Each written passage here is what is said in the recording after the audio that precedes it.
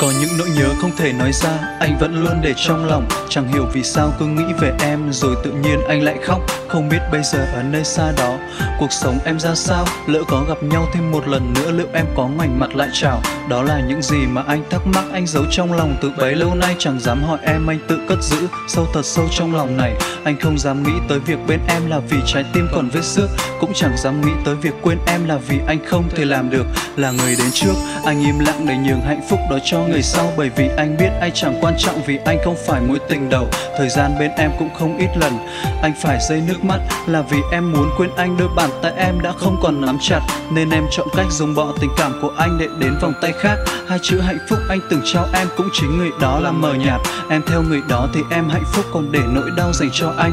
Cùng với vết thương tình cũ có lẽ Sẽ chẳng bao giờ lành. Anh không giống họ, Anh không có gì nên không xứng đáng để yêu em. Anh không giống họ, Không thể lựa chọn vì biết thân phận mình yếu kém. Anh không giống họ, Anh không ngọt ngào, Anh không lãng mạn, chẳng kiêu xa Anh không giống họ, Nhưng anh thật lòng và luôn coi em là tất cả. Họ đối với em như là hoài niệm Mà em từng lưu vào trang giấy Em đối với họ như một vết mực Họ vẽ họ tô rồi họ tẩy.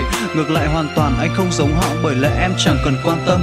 Và anh khác họ vì anh ngu ngốc Nhưng vẫn yêu em trong âm thầm. Anh đã từng níu, đã từng buông anh đã từng hy vọng, anh đã từng yêu, đã từng thương, từng nghĩ về em rồi bật khóc. Đã từng suy nghĩ, suy nghĩ rất nhiều làm sao để tốt cho cả hai. Đã từng bao dung, đã từng tha thứ, đã từng muốn giữ em ở lại. Anh từng hy sinh, từng đánh đổi, đã từng quên hết chuyện đã qua. Anh đã từng vấn, đã từng vương cũng từng vì em anh gục ngã. Đã từng im lặng, đã từng nhắm mắt anh đã từng buông xuôi, đã từng cầu xin tình yêu của em Nhưng rồi cũng bị em xua đuổi. Bao nhiêu bài rap mà anh từng rap Anh chỉ biết rap về tình yêu. Em đã từng nghe, em đã từng thích Nhưng mà có lẽ em không hiểu. Chỉ là anh gửi tất cả những điều không dám nói ra vào trong đó. Nhưng rồi em cũng chẳng hề bận tâm Và cũng vì thế em từ bỏ. Biết là rất khó để quay trở lại Bởi vì em có thương anh đâu. Vậy nên cứ coi như bài nhạc này nói ra những điều anh đang giấu. Những thứ vô giá mà anh từng có bây giờ cũng hóa rất tầm thường. Anh sẽ giữ lại ký ức về em em. Người con gái, anh từng thương. Anh không giống họ, anh không có gì nên không xứng đáng để yêu em.